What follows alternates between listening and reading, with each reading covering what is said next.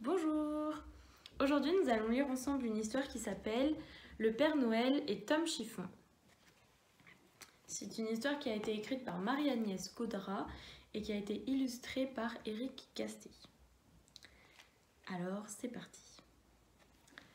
Tous les matins, quand il se réveille, le Père Noël se fait du thé et puis il ouvre son courrier. Et tous les matins, il s'écrie ah, il n'y a pas à dire. J'ai vraiment le plus beau métier du monde. Faire plaisir.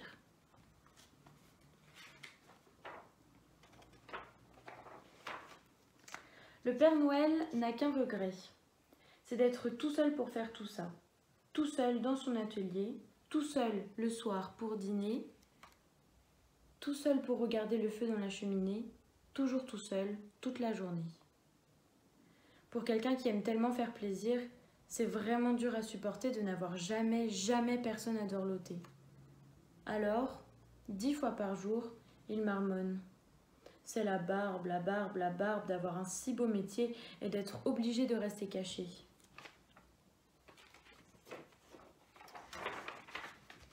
Un soir, ou comme tous les soirs après le dîner, le Père Noël s'en va dans son atelier. Il va faire un petit coucou au jouet qu'il a fabriqué. Il s'arrête un moment devant son préféré. Mon petit homme chiffon, mais que tu es mignon Ah, celui qui t'aura dans ses souliers, on peut dire qu'il sera gâté. Il est sur le point d'éteindre sa bougie pour aller se glisser dans son lit quand il entend une petite voix qui lui dit Hé, tu ne vas pas me laisser comme ça, j'ai un peu peur du noir, moi. Le Père Noël se retourne, éberlué. Et que voit-il? Tom Chiffon qui a sauté sur ses pieds.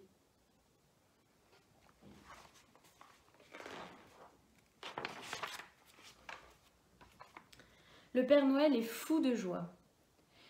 Il prend Tom Chiffon dans ses bras en disant Mais tu parles, tu as une voix, montre un peu, tu bouges les bras Et Tom Chiffon n'hésite pas à lui montrer qu'il bouge aussi les mains et les pieds. Le Père Noël n'en revient pas. Il a envie de lui demander ce qui s'est passé, quand il entend une petite voix lui demander Tu sais ce qui me ferait plaisir? C'est que tu prépares un bon dîner. Pas de problème, s'écrie le Père Noël. Et pour une fois qu'il a un invité, le Père Noël se réinstalle à table pour dîner. Il n'arrête pas de demander C'est bon, ça te plaît? C'est assez salé? C'est assez sucré Et il sucre et il sale, et il sucre et il sale, et il veut être sûr que Tom Chiffon se régale. À la fin du dîner, Tom Chiffon demande. Pourquoi t'es un peu rouge? Et pourquoi tu ris tout le temps? Tout essoufflé, le Père Noël répond. Parce que, parce que je suis content.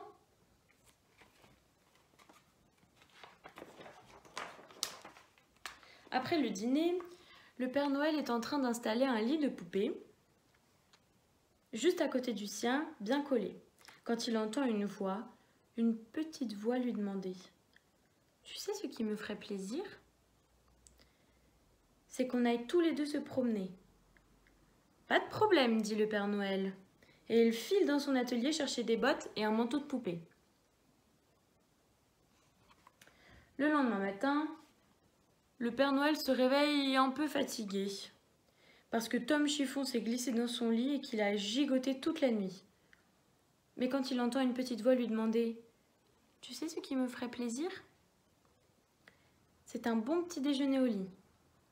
Le Père Noël s'écrie Pas de problème et il bondit dans la cuisine le préparer.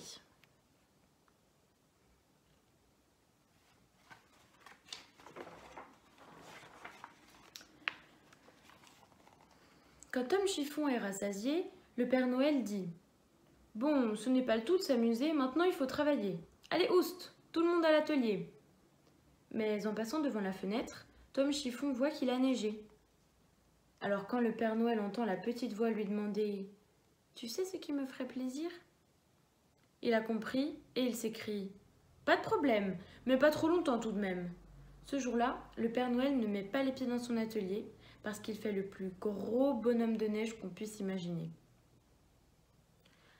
Et quand le soir, Tom Chiffon l'embrasse en lui disant Tu sais, j'ai passé une rudement bonne journée. Le Père Noël rit parce qu'il est content, mais au fond, Il n'est pas très fier de lui. Qu'est-ce qu'il va se passer à Noël s'il n'a pas fini son travail?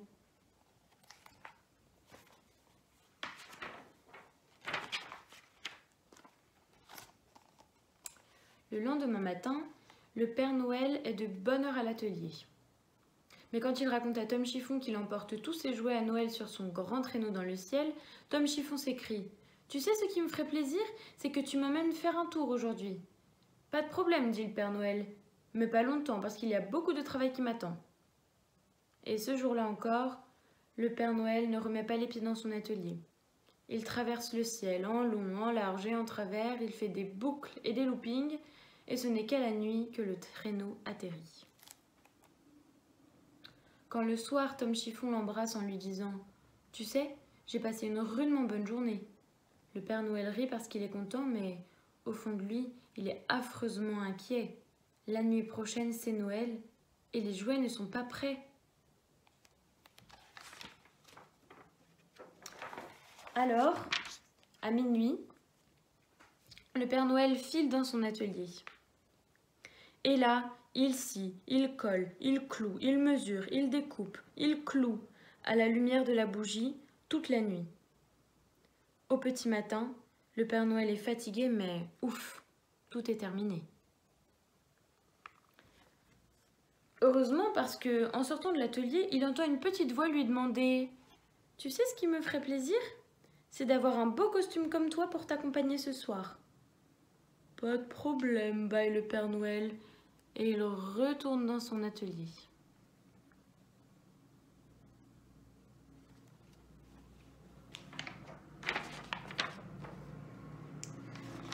Le soir de Noël, tout est prêt. Les cadeaux, le traîneau et les deux Pères Noël, un petit et un gros. Il n'y a plus qu'à trouver les cheminées et à faire la distribution sans se tromper.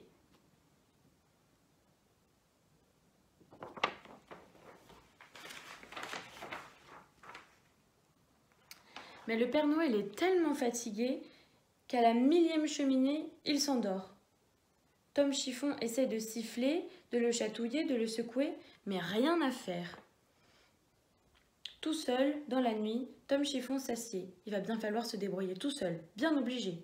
Alors il vérifie la liste, il trie les cadeaux, il choisit bien chaque cheminée et il descend tout seul sur la pointe des pieds, les déposer dans les souliers.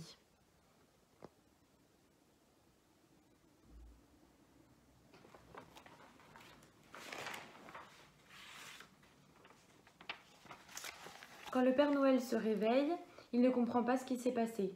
Il est là, devant sa maison, son traîneau sagement garé, mais il n'y a plus de Tom Chiffon. À côté de lui, sur la banquette, il y a seulement une petite lettre.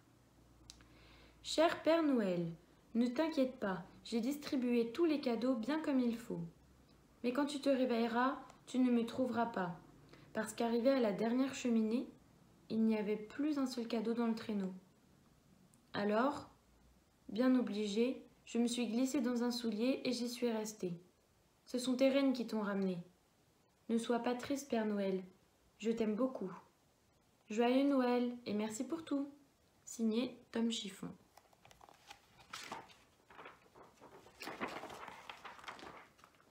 En rentrant chez lui, avec sa petite lettre qu'il lit et qu'il relit, le Père Noël est si triste qu'il n'a qu'une seule envie, c'est d'aller rêver à Tom Chiffon dans son lit. Mais en passant devant la cheminée, il aperçoit un petit cadeau dans ses souliers. Alors, sans réfléchir, il déchire le papier et que voit-il?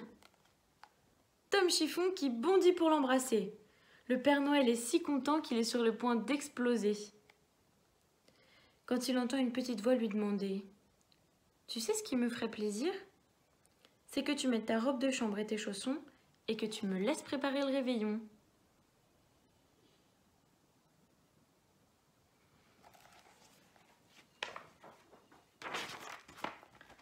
Et cette nuit-là, même s'il n'y a pas de dinde au marron ni de bûche au chocolat, le Père Noël passe un rudement bon réveillon. Tom Chiffon n'arrête pas de lui demander C'est bon, ça te plaît? C'est assez sucré C'est assez salé Et il sucre et il sale, et il resucre et il resale, et il veut être sûr que le Père Noël se régale. Quand, à la fin du dîner, le Père Noël demande Pourquoi t'es un peu rouge? Pourquoi tu ris tout le temps? Tout essoufflé, Tom Chiffon répond Parce que. parce que je suis content.